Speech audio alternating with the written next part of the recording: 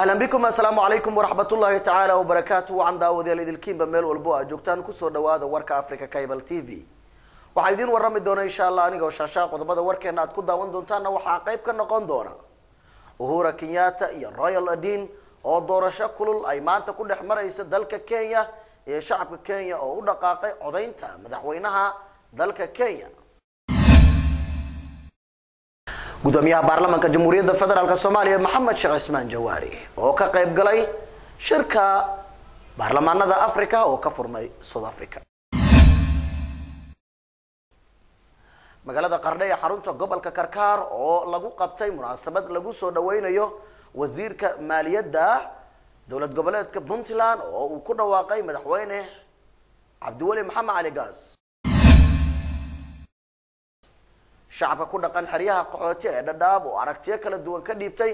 u dareeridda doorashada madaxtinimo ee dalka kenya. Faahfaahin dheeraad ah oo ka soo baxaya dab xalay ka kacay suuqa bakaaraha ee magaalada muqdisho. Qoyskii uu ka dhashay wasiirkii wasaaradda howlaha guud marxuum siraaji oo sheegay in loo dilayo ninkii dilay wiilkooda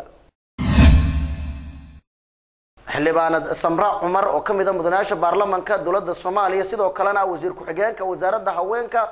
oo sheegtay in ciidamadeeda aanu qeyb ka ahayn rasaas shalay lagu furay bajaadley mudaaharaadaysay oo dhaawac iyo dhimashaba uu ka soo gaaray.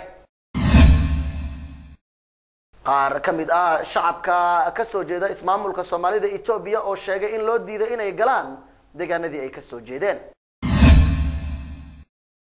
ciidamada ammaanka puntland kuwooda gobolka bari oo gacanta ku soo dhigay ninkii dilay guddoomiye ku-xigeenkii hore ee gobolka bari. Qodobadaas iyo wixii ku soo kordha ayaad maqli doontaane u diyaar garooba warka africa cable t v oo dhammaystiran mar kale shaasha ayaa idin waramaya